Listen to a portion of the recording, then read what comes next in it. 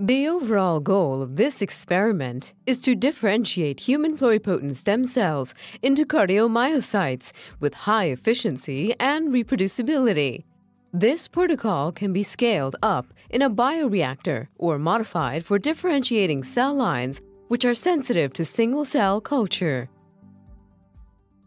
This method can help answer key questions in cardiac disease modeling using human induced pluripotent stem cells.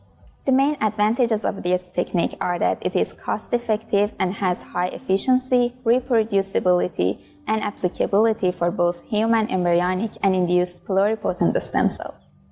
Our demonstrator today is Hananeh Fonoudi, currently a PhD student at the Victor Chang Cardiac Research Institute, coming to us from the Royan Institute.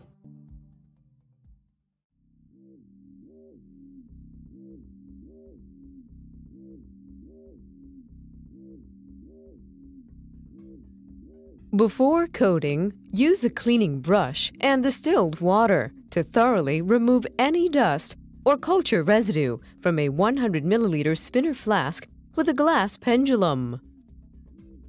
Next, fill the flask with 70% ethanol.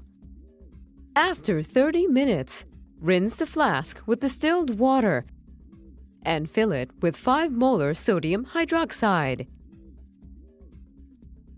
The next morning, rinse the flask under running water for 5 minutes and fill it with 1 molar hydrochloric acid. After 15 minutes, rinse the flask under running water for another 5 minutes, followed by two rinses with double distilled water.